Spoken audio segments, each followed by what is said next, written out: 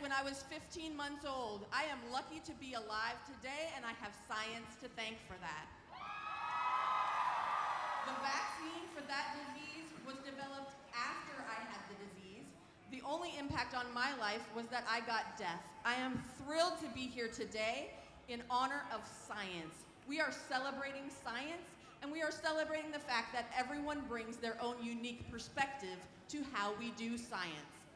Deaf people are visual learners. There are studies being done right now by deaf scientists on bird songs. They're not listening to the songs, they're looking at visual readouts on computer screens and studying the songs through visual technology. That's the kind of impact that deaf scientists can have on our world.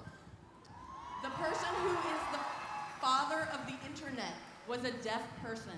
The person who developed the Harvard classification system stars was Yes, a deaf so person.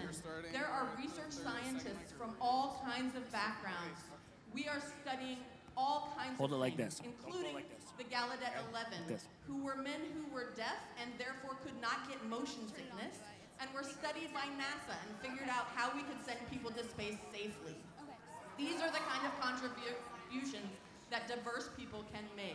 We want to practice holding it. Deaf scientists are studying basic science in all kinds of fields. As members of the March for Environmental Science Student science, Outreach the team, impacts of are- humans on our climate, including my research on the river system here in Uh, Washington. lots of big sciencey words. Looking at how to reduce pollution School boards. and make our water systems safe.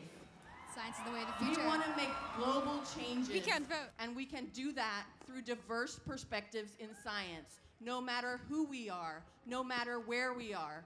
Science benefits from our entire community. Science benefits from diverse perspectives and diverse beings. Thank you.